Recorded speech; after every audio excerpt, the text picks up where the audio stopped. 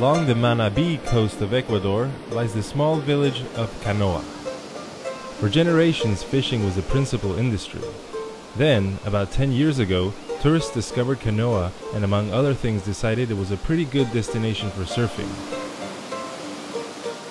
About that time, retired U.S. Navy veteran Jimmy Byrd, a longtime resident of Canoa, was asked by parents if he could help their children get a better education and maybe learn a little English. Muy agradecida con la fundación, con la persona que fue el mentalizador de la escuela.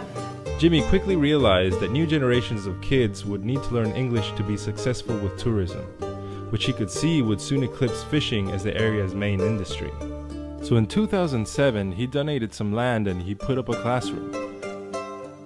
Thanks to private donations, the school now offers quality private education for grades K through 6 in six classrooms.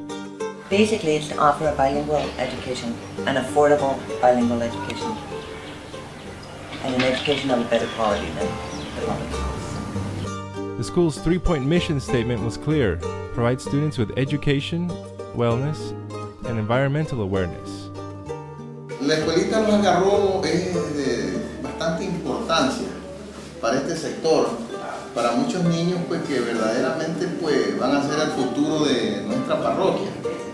Para mí es muy bueno, muy bueno porque sabemos que, que Canoa es un balneario que cada día va creciendo más y necesitamos este tipo de educación. Eh, más que todo es una educación bilingüe que no lo hemos tenido en estos tiempos atrás.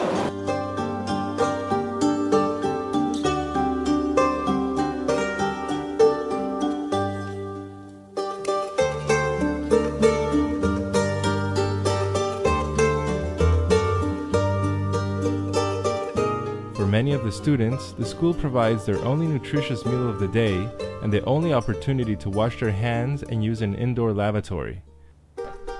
$300 can send a child to school for a full year and provides uniforms and school supplies, and an entire classroom can be put up for only $6,000. Todo lo que se viene desarrollando es a beneficio de las personas de aquí, de la población. Y esperemos que, bueno, en realidad aprovechemos lo que tenemos ahora y no lo dejemos que se muera, sino que en vez de que siga creciendo mucho más y no solamente se termine con una escuela, sino que mucho más de la escuela. Your contributions make an immediate impact on the lives and futures of children and their families, and they appreciate your generosity.